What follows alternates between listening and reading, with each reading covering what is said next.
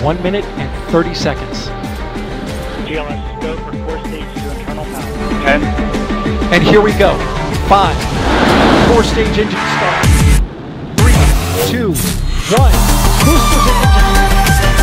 And liftoff of Artemis 1. We rise together back to the moon and beyond.